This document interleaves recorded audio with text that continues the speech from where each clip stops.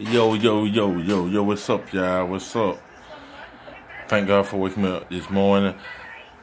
That I told y'all I will be working on models counts and stuff right there. Y'all see them right there? I'm working on one modded account right there.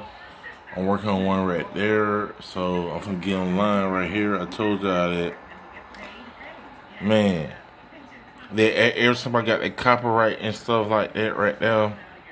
So I said, hey, I gotta start back making modded accounts and stuff, man. Models count, modded account. You look the other PS4 right there, and they got my original PS4.